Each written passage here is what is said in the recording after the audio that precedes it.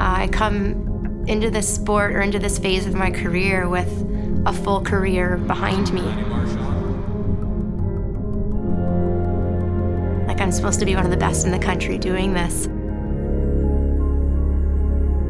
And I'm having to relearn how to do it and build from the ground up. Like a beginner.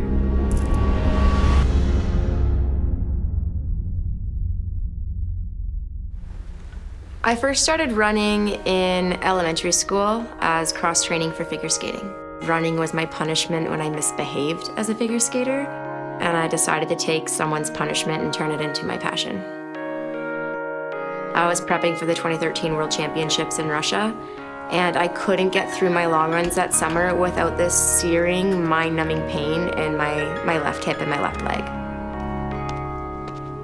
Towards the end of 2017, I participated in two Under Armour events. The Under Armour strength and conditioning team had me up on the treadmill doing some diagnostics. By April 2018, had the diagnosis that the hitch in my step and the foot slap was coming from a tear in my hip.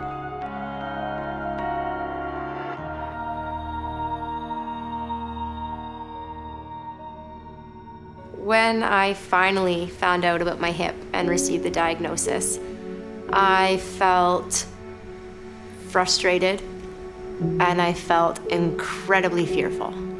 At Lanni's level of running, I only know a handful of athletes that have actually had this procedure done and have come back successfully uh, at a world-class level.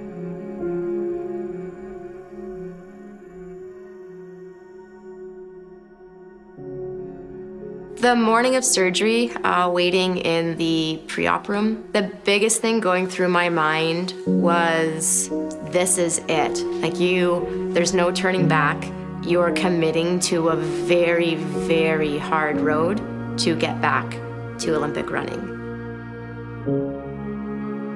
I'm willing to do whatever it takes.